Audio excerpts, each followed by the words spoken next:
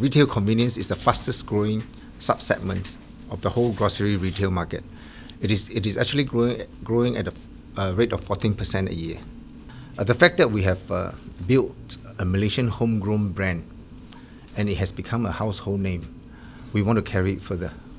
We want to, we want to keep it within Malaysia first. We want to keep it and just, just take it on to the next level.